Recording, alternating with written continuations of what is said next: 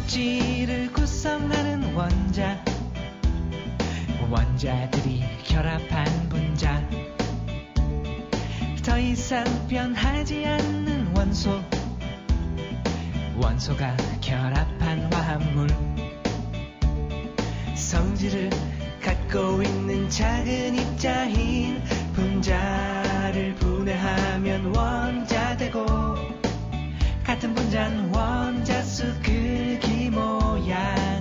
질량이 똑같지 한 분자를 이룬 원자 종류.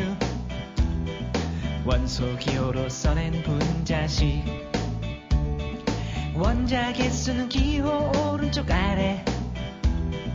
분자 개수는 맨 앞 큰 숫자.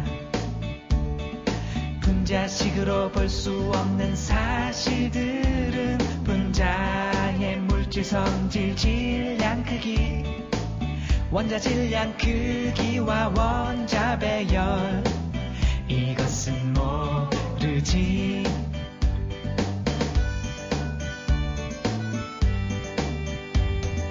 물 분자는 H2O 과산화수소 H2O2 암모니아 NH3 염 화수소 HCl 산소는 O2의 질소 N2 수소는 H2 염소 Cl2 메탄은 CH4로 쓰고 에탄올 C2H6O